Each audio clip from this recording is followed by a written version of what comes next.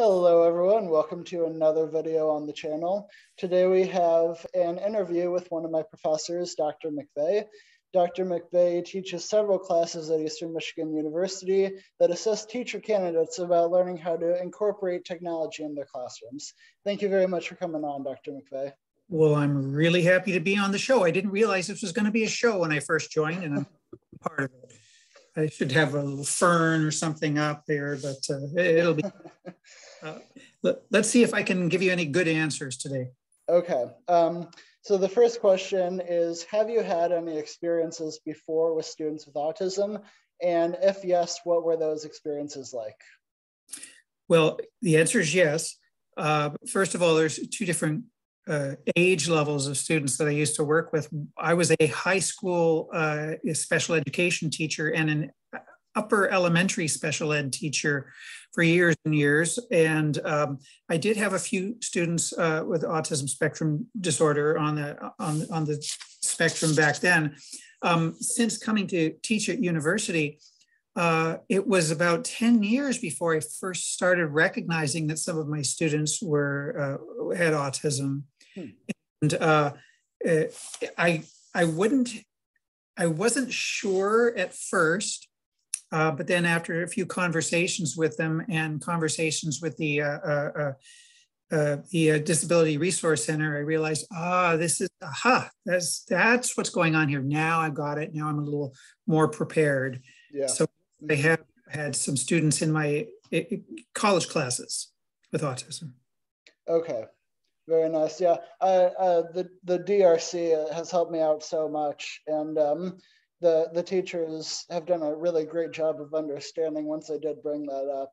Um, so yeah, I, re- I really appreciate their uh, their assistance through this. Um, and I um, would say that I would say that for the most part, professors on campus are quite willing to help and assist, oh, and yes. can yeah. uh, they they just need to know. And that was one of the we're going to talk about some of the issues or the experiences. Mm-hmm. That was one of the issues I had with one student who who did not um, who well, that's good. You're not jiggling anymore. I like yeah. that. he, he didn't um, he didn't go and get a letter of uh, um, uh, accommodation. Yeah. And that was that was frustrating. I mean, I we we worked something out, but I he he should have really spoken to me much much sooner in the semester. Uh, so uh, that was one experience the reason I realized something was going on because submissions were coming in really, really late, mm-hmm. excuses, and there was no interaction between us, like no emails. You've been very good with emails to me, but some some of my students with autism aren't proficient in reaching out to the professor and and asking you know general questions or explaining why things are going to be late or, or if there are issues going on that they don't understand the assignment. So, uh, and, and that sometimes prompts me. What I do in my classes, I send lots of gentle reminders. I hope you haven't received one yet. Uh, if, if it, I send a little gentle reminder email, and sometimes the students go, "Oh, oh, I forgot all about it," right. and, um, and that helps. Uh, but when I don't even get a response to a gentle reminder note, that that makes me a little worried and sets off the alarm bells. So, yeah, definitely, yeah. Um, so every uh, study I have read shows that technology significantly improves the educational journey of these students. What do you think technology provides in order to give that improvement? Well, talk to the wrong guy here. Technology can be defined in a number of different ways, of course, but we will go with a real simple approach and talk about using computer technology mm-hmm. because more and more uh, lessons now are being uh, managed asynchronously or in an online setting.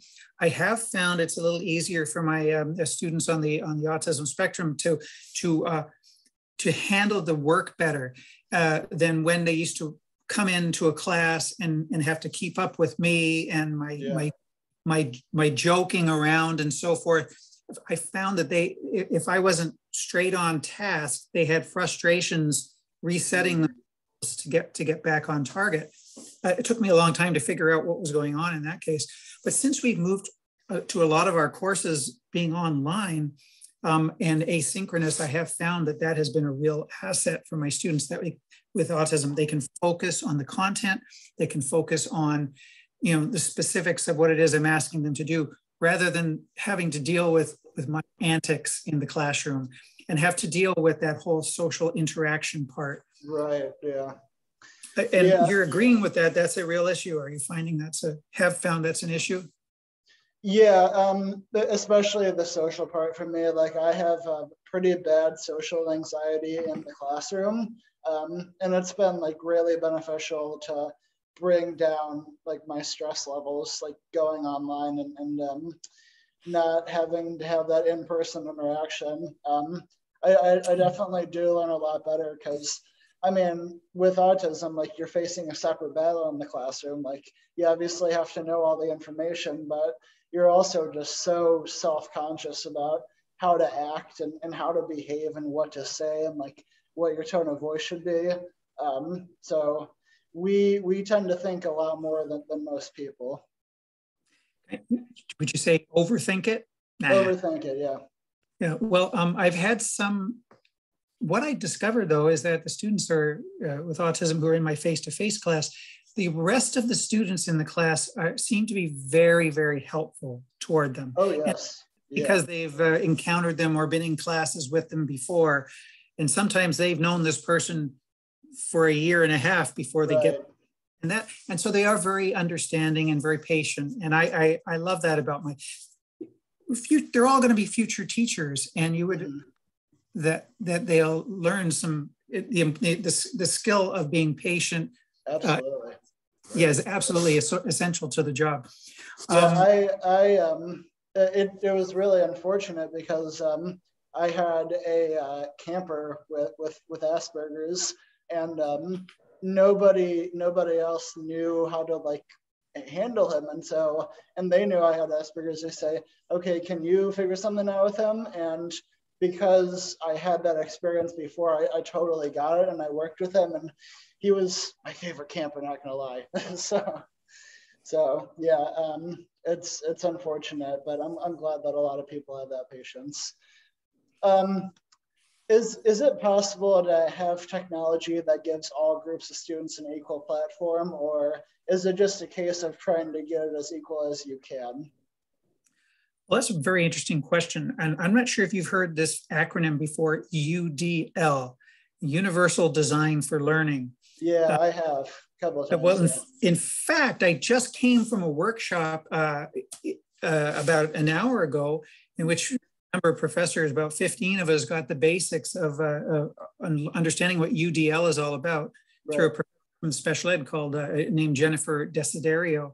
And in a couple of weeks, I'm going to be doing a session on UDL in online teaching.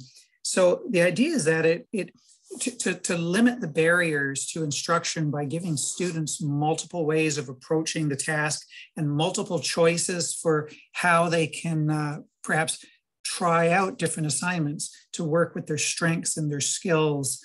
And, um, uh, and I believe technology can help in that regard. So um, I was just, I made a note or two, just give me a second to be, uh, ah, I don't, my, my handwriting is unclear. so, um, so you said, is it possible just to using technology to make things as equal as possible? Let me let me change it to a, to leveling the playing field. Yes, uh, leveling the playing field. Exactly. I mean, I suppose in one respect, the ideal would be that I shouldn't know that you have Asperger's mm. when teaching you or when we're interacting with each other. And uh, once you tell me this information at the start of the class, I actually work very hard to not pay attention unless something comes up. You know, my goal is to try and create assignments that are as balanced as possible for anybody to, to manage the tasks. Uh, and if they get too difficult, this is a really good, good opportunity for students to reach out to me and say, hey, I don't understand this. And if you're following the principles of universal design for learning, uh, it's, it's an opportunity to improve the teaching process, to improve the course design. And that's why I love getting emails from students. Every time they ask a question, they're afraid that sometimes that I'm going to pick on them for not knowing something. but a lot of times the questions help me to clarify this. If if this student didn't understand the instruction, mm-hmm. others probably didn't as well. So I am yeah. questions from you, questions from anybody, and uh, recent and things that I think are perfectly clear to understand. It turns out not necessarily so. So. Yeah, yeah, one hundred percent. Um, and, and I think that's uh, that's great that you, you do the UDL. Um, I, I plan to um, attend a few sessions like that myself, like before I go into teaching, just just to get a better idea um, and and see some real life examples. So that's good. Well, the next one is uh, January 25th at uh, 9:30 in the morning. That's a Friday, 9:30 in the morning. Is it available to all students? Uh, I don't. I think it's available to all faculty. I don't. No okay. student actually uh, has actually asked about it yet. Maybe we should just uh, drop you into the class, huh? I'll, I'll, send you the information for uh, registering. Why not? And All if right. you can, and if you can make it, great. If not, I'll, I better make a note with my. okay, you you you ask the next question while I'm making a note. Okay. Okay. Um, where where should I begin when it comes to giving specifically my neurodiverse students assistance with technology? I have no idea. No, because because it depends on what we're talking about with technology. Um, uh, I, I, guess like um, when it comes to making interactive PowerPoints or um, things like uh, Duolingo or um, what's that app that uh, Class Dojo? That's the other one. So it's like apps like that. Like how do how do I give assistance to my neurodiverse students with that?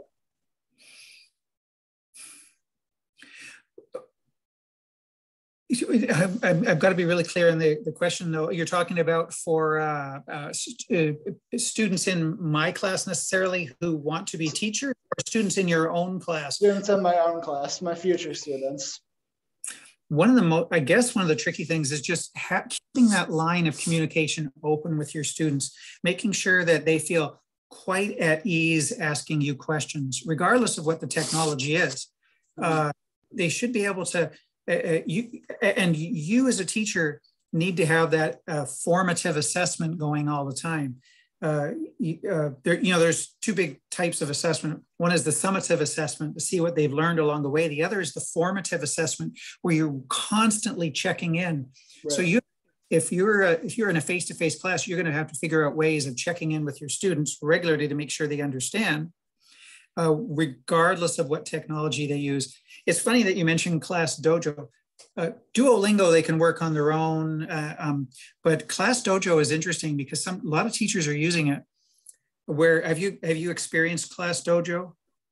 I I believe it's like um, an app that helps set up like a class contract, right?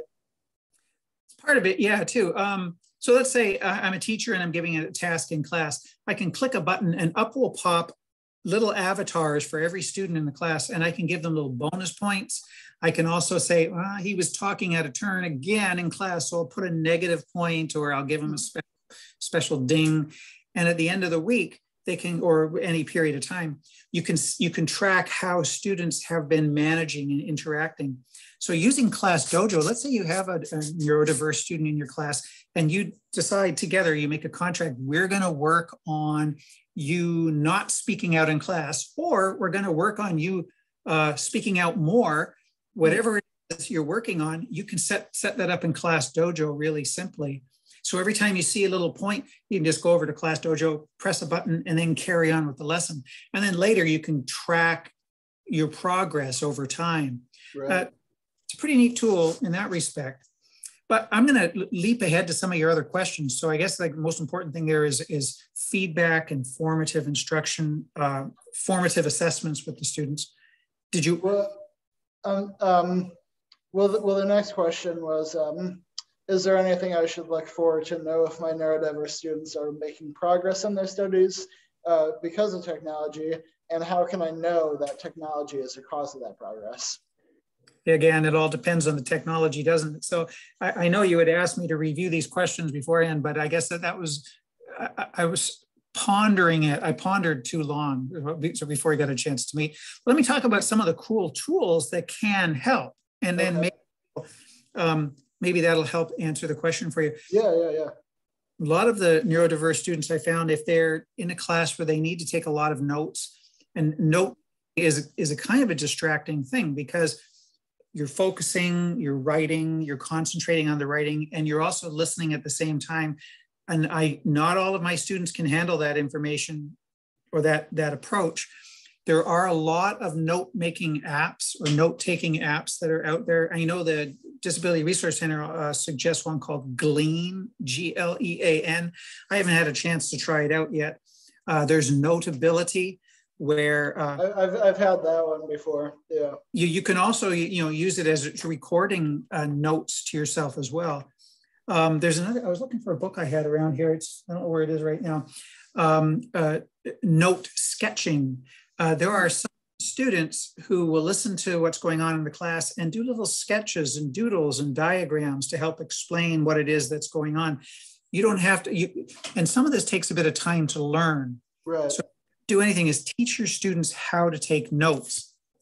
It's okay, future teachers, it's okay to, to stop and explain the expectations, why you have the expectations, and if you and if you insist, insist that they take notes, you might as well teach them how. I get too many people say, "Oh, just take notes about this." My students don't always know how to take notes, or they'll get a, a highlighter and start highlighting everything in the text, and they don't know where to stop and where to start with the highlighter. And there are real specific ways that can help you with the review process, the the, the, uh, the reviewing process. Um, uh, you, there's also voice to text, uh, and spell checkers are a wonderful thing, thank goodness. And I was going to say also, oh, a program that Google has called Keep. Um, sometimes it, uh, what I like about Keep is that it has a really good uh, voice to text technique. So I can go to Keep on my, even on my Android phone or any Google device that has a microphone to it. And you can call up a fresh page of notes and start typing away or you can dictate the notes as well, which can be really, really helpful. Yeah, uh, yeah. Take care of the spelling later.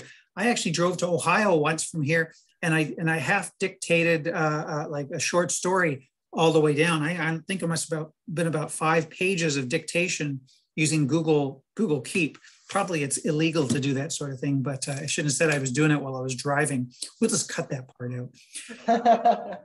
I don't edit any of my interviews, so that's, I don't know what to do. ah, don't worry about it. Um, so, uh, um, what kind of tools have you found have been helpful for you, uh, technological tools? Yeah, um, I, I, guess I guess the main one would be um, like audio on um, on online textbooks because almost all of them come with audio and um, i have really?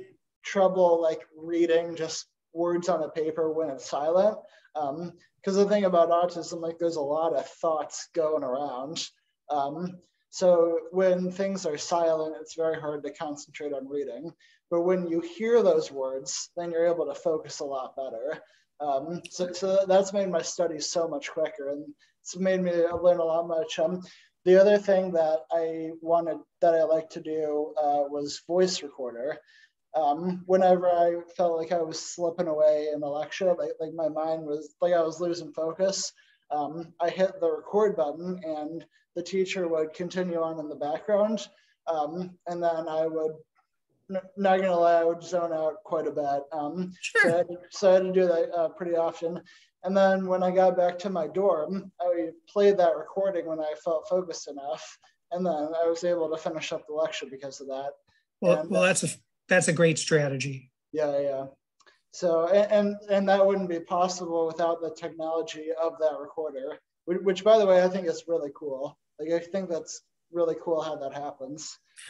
I was also going to suggest if you have a, uh, partner or a learning buddy or something like that, set up a collaborative note page hmm. and uh, you know you set up just open up a google doc and uh, you start writing and your partner starts writing and uh, and while your partner is writing you can actually go off and either zone out or look for videos or look for links or things like that mm-hmm. Which could be very helpful i was going to share I, want to back you up uh, when i was at university second or third year i took a shakespeare class mm-hmm. and plays that were absolutely brand new to me. And I, I discovered, I, I thought it was almost illegal. I went to the library and went to their listening rooms and was able to get the complete cassette tape set yeah. of number of plays. And I tell you, it was uh, it was a wonderful thing. It got me through. It, I needed to hear it and read it, and I didn't realize. At first, I thought it was a bit of a weakness on my part. Surely, you should just be able to pick up a, a, a play by Shakespeare and read it. No, no, no. We, we all got we all got different brains and different ways of learning. And we we certainly do. Yeah. Uh, as um, the concept, as a consequence, that that was something that really helped me. So I'm absolutely 100% in favor of that strategy. And I didn't realize a lot of books were on tape now. Plus, there are a lot of things you can scan and have them using a turn it into a PDF and have the PDF read back to you. So there's all sorts of accessibility uh, tools out there. And if that helps, you know what helps you, use it for sure. Yeah, yeah, yeah. Um, final question here. Um, what advice would you give to future teachers who are not sure where to begin when it comes to assessing these neurodiverse students? Right, to assessing the assist, assisting assisting them. One thing they could do is if, if they're, if they're going to recommend a tool to the students, they should try it out themselves. Mm-hmm. absolutely. Um, you know, you said notability and there's there's Glean. I, I would hesitate to offer Glean to a, a, student until I've had a chance to try it. And in fact, I have a note on my calendar to write a note to the um, Disability Resource Center and ask them if I can get a, a license or a test license or something like that, a sample, so I can try the try the tool out. Because I have four students in my class right now who are who have written in their accommodation letter that they're going to be using that. So uh, so when it comes to using technology, make sure you've tried it out yourself. Make sure you, as a teacher, are really comfortable with whatever tool it is you're using. You can't just throw somebody in the deep end and say, oh, give it a crack. Um, some people like to use Prezi, for example. Yeah. And I learned Prezi really well once upon a time, and I and I could was able to make all sorts of neat things with it. And then they changed the template, and then they changed it again and then they t- changed the tools and they changed and i was three years out of date. So i was throwing students in and say oh just try making a prezi. And i'd forgotten that prezi had moved on. I was here and prezi was there and i needed mm, to yeah. as a teacher you need well, to keep yeah, on top of it right sure. yeah. And, and, that's something that um, i personally have uh, trouble with you know that like um, I, I don't know what to do when apps update as, as of now. I, I, hope I end up uh, getting to learn that because every time um, I, every time I turn my phone on in the morning and it says there's a software update, I go, oh, yeah, oh, yeah exactly. well, with, with autism, like you got to stick to a routine. And when that routine changes, like I personally am not happy with that. Um, and part of that routine is like having the same format uh, when it comes to th- certain things, especially apps. Um, like when whenever Instagram like changes its look and like changes the amount of things you can do, um, that takes me a while to adjust to that. Um, and that's just Instagram. Like when it comes to important apps, like what I'm going to be using, um, I got to figure out ways to, to figure that out. Send me your um, your username on Instagram. If it's easy, write it down right now. But uh, so so I can follow you as well. I I I have Instagram, but I never I don't have any followers. I oh, okay. Yeah, I, I was thinking about setting up a Twitter. I know you have Twitter. Uh, I've, I've seen you before on, on it. Um, but uh, I'm not. Well, for for Twitter, Instagram is really taking off amongst my students. This year, I surveyed them, and it's amazing how many were using uh, Instagram. Very few are using Twitter, which which is interesting to me. Although I'll, I'll, uh, I'll put my username in the. Uh, I'll send okay. you a DM for the username. I, I have a joint account that I run. Okay, I was going to share something. Um, I, I'm a school board trustee at Saline Area Schools, and we have 300 teachers on, on, on staff, 300 mm-hmm. certified you know, educators. And uh, there are about 250 of them with accounts, Twitter accounts. Okay, they use, yeah. use it for professional development. Mm-hmm. And sometimes it's just a class account and they share things that are going on in their class with the parents. Uh, so the parents come in and go out each year. It's new. And uh, uh, I, I, think uh, Twitter is a great tool for educators, that's for sure. I'm not so sure about Instagram. And, and I shared, a student shared with me one year, here's another tool um, that I, I'm still not there yet, Pinterest. Uh, I, one student said, I go to Pinterest before I go to Google. Hmm. And I just say, really? Wow. Okay. I go, or I mean, um, if you want to learn how to do something too, eh, there's always YouTube. But anyway, sometimes you learn the wrong way to do things as well. Well, I hope that was helpful to you, uh, Alex. Extremely, extremely, yeah. Um, and I, I tend, I, um, I hope that whoever sees this are uh, educators and are able to help out with. And uh, well, I'm sure you get some good advice for that. So, well, I'm sure you have, I'm sure you have millions of fans out there, right? I only have about 400, but that's all right. Oh my gosh, this is all you. One American, two Brits, three Aspies. Is that it? Yes. Uh, what are Aspies? Uh, Asperger's.